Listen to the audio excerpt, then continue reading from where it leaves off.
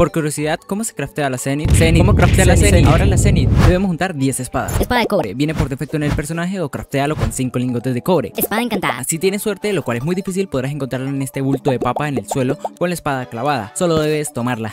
si no es tu caso, entonces puedes obtenerla en cajas doradas o de titanio. Espada apicultora. Sóplate la abeja reina y ya es toda, güey. Furia de estrellas. Cofres de isla flotantes o cajas celestiales de la pesca. La semillera. No más debes matar a plantera y ella con mucho gusto te la dropea. La espada del jinete. Es dejada por el rey calabaza durante la luna de calabaza, evento que puedes invocar crafteando el invocador con 30 calabazas, 5 ectoplasmas y 10 lingotes sagrados. Generador de flujos. Es dejada por el platillo volador de la invasión marciana, evento que puedes conseguir buscando una de estas sondas marcianas con mayor probabilidad de aparición en el espacio. El espectro estelar y el filo miau. Son dejados por el señor de la luna, el Moonlaw. Y por último, Espada terra. la espada Terra se hace mirando el otro video donde explico cómo se hace la Terra Blade.